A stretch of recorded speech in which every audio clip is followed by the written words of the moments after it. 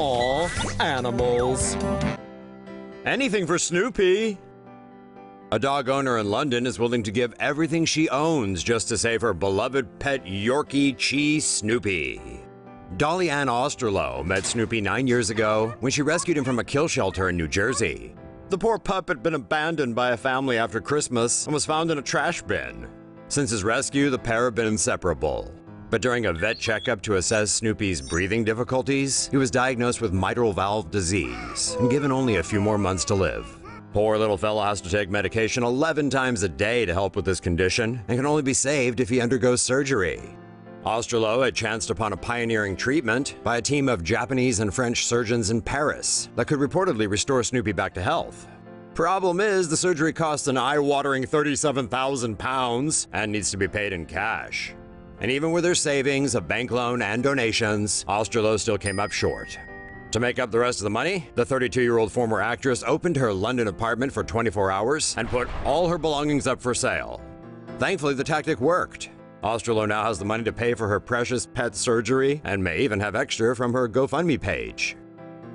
Seems Snoopy is set for his September 19th surgery in Paris. Get well soon, buddy!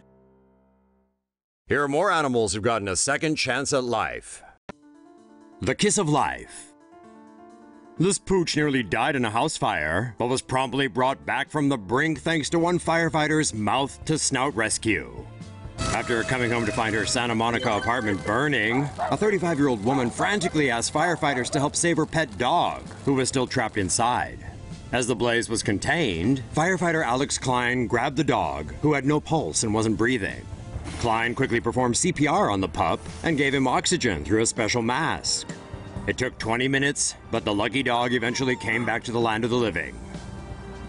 No other pets or humans were injured in the fire. The pup was transferred to a local animal hospital, but is now back on his paws, even swinging by the station to personally say thanks. Dog saves unconscious bird and pair form incredible bond. A small pet dog spotted a little bird in dire straits, and rather than watch it die, he went in search of help. Diamond, a Jack Russell Terrier, had just come in from a walk with his owner, Gunner. Minutes after Gunner sat down at his computer, Diamond ran over, whining. Not understanding why, Gunner initially waved the pooch off. But the little dog was persistent, and eventually Gunner gave in and followed Diamond to check things out. To his astonishment, lying outside on the floor of their balcony was a tiny bird who appeared to be dead. But when Gunnar noticed it blink, he quickly gathered it up and tried to bring it back to life with some water and birdseed. Incredibly, the bird was flapping its wings again in no time, and when Gunnar was about to let it go, the bird flew over to Diamond and landed on his head. A show of thanks, if you will. The two shared a few friendly kisses, and Gunnar named the bird BB. He then left BB outside to encourage her to return to the wild. Apparently, BB wanted one last sleepover with Diamond, and so Gunnar arranged for it. The next day, BB took flight and flew high in the air. Gunnar says now, whenever he asks, Where's BB? Diamond hops on the couch and looks out the window for his pal. Maybe somewhere outside that window, she's there, keeping an eye on him too. How animals are surviving Hurricane Harvey. As Hurricane Harvey dumped water all over Texas, humans weren't the only ones looking for relief.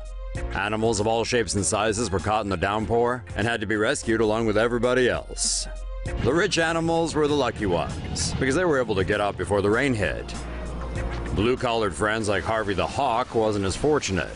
Heavy rains forced Harvey to hail a cab rather than take to the skies. Guess Harvey isn't a big Uber or Lyft fan. Gators have also been trying to escape all the wetness. Many have been seen hanging out in the burbs.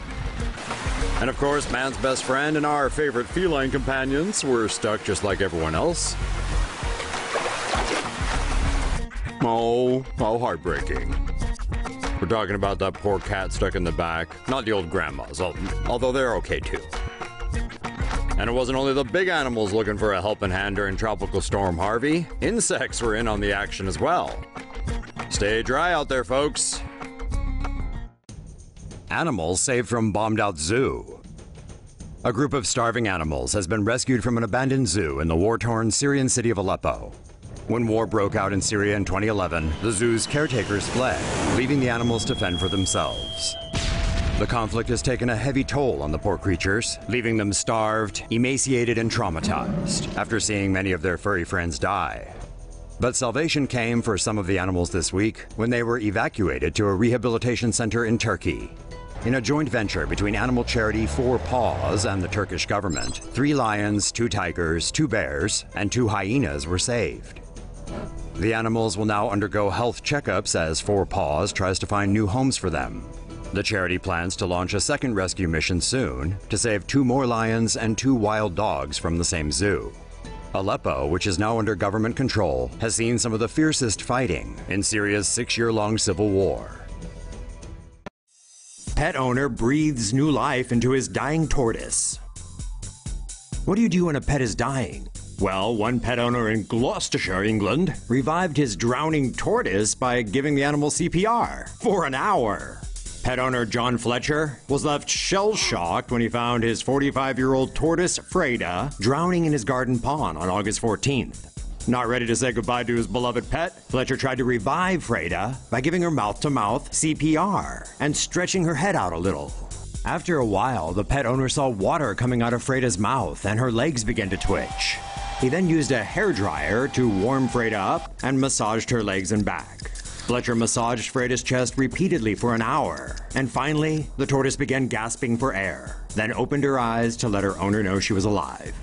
After being saved, Freda is now back to her normal routine, strolling around and, you know, just uh, generally uh, looking at things. Only now she'll be staring at a fence around the pond that Fletcher put up to protect her. According to a reptile store in the UK, tortoises can only float on water for a short amount of time. So, peeps, uh, keep an eye on your little friends.